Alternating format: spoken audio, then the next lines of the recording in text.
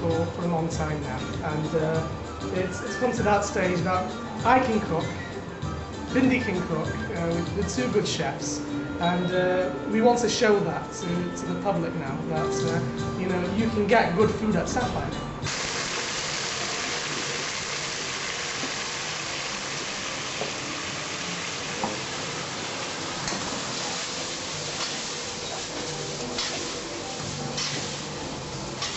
Academic studies through Paul Heathcote School of Excellency um, in South Trafford College. Uh, after that I went to Canada, my uncle's got a, a restaurant in Saskatoon, Saskatchewan. Um, went there and I was chefing in his kitchen. Uh, that was for a good 24 months.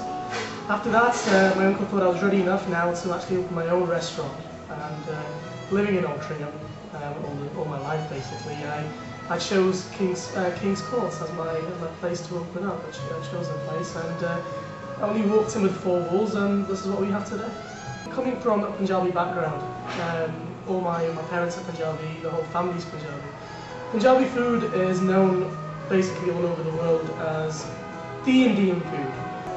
I wanted Bindi to be in there. His food is fantastic. He's adapted to uh, my style of cooking as well. Um, I'm learning from him and he's learning from me and uh, that's the best way to do it. It's uh, total help um, and support and guidance from uh, my father's younger brother, Bhushan Jareth, uh, and Anu Jareth, who's his wife, my auntie.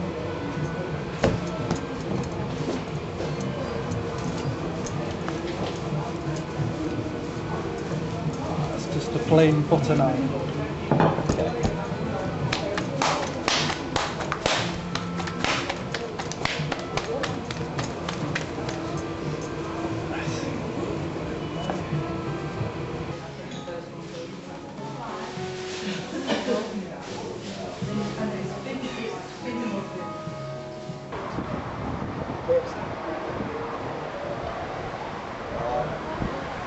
mother, my father have uh, supported me all the way to open a restaurant up. Uh, my mother's in the kitchen with me as well. It's a family-run restaurant. My grandmother's here as well. Um, it's, a, it's a family generation that's been running this, and uh, a long time to come will be running it as.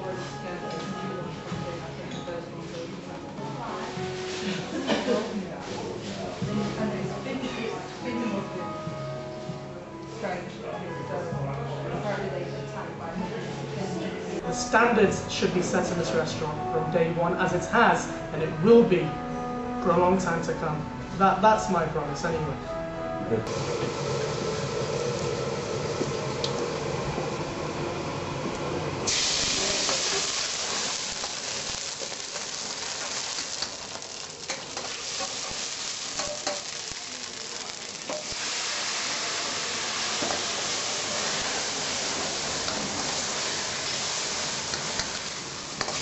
Normally you get a Rogan Josh from a, a, normal curry house and it's just chock full of tomatoes and they just bulk it, bulk the red up with loads of tomatoes, but this, this, this wasn't like it that. Was, it was really nice.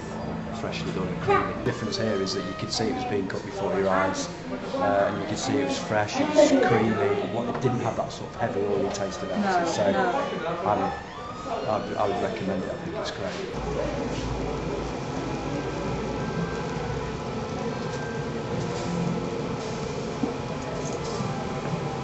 And that's Sapphire for you. Thank you very much.